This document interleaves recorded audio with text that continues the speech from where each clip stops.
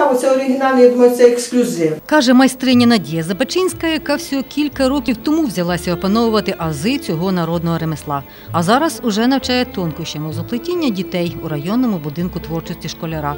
Робота ця, щоправда, трудоємна, але й вдячна. Надія Романівна зізнається, коли вироби подобаються людям, то це для неї найкраща дяка за працю та найвища нагорода. А на користь екологічно чистих, природних та естетичних капелюшків посуду має аргументи. Кожна робота є ексклюзивна, вона зроблена майстром. Його приємно в руці тримати. Е, І ним приємно користуватися. От мене, наприклад, вдома я користуюся тільки ну, корзинками, у мене в корзинках все стоїть. Мистецтво це жінка вивчала за підручником, як не дивно, зовсім не українським. Дивно, бо в нашій кліматичній зоні верби ростуть всюди і немає жодного дефіциту з сировиною. Лоза є кругом. На нашій території, де є річка, де є ставок, там є лоза, її можна посадити і можна працювати з нею. Її треба любити, і вона буде вас любити.